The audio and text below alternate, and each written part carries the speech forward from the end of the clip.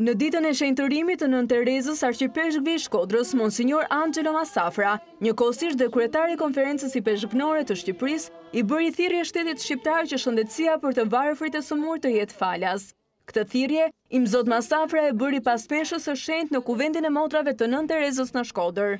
Në festën e Nënë Terezës më lejoni të bëj këtë thirrje, që shteti shqiptar duhet që të shërojë falas njerëzve, njerëzit që janë të sëmurë e që janë të varfërë.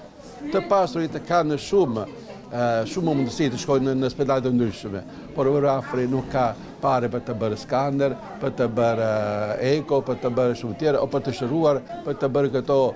gjëra që janë në sëmundje sot shumë të rëndësishme. Një ditë pas hapjes së sesionit të ri parlamentar, Arqipeshkvi Masafra ka një mesazh për krerët më të lartë duke i kërkuar atyre që ta lënë luftën e kotë politike pasi shqiptarët janë të lodhur dhe se vendi po zbrazet. Debati politik dhe djathtas majtas qendër është një politikë normale, por problemi është që të keni qëllimet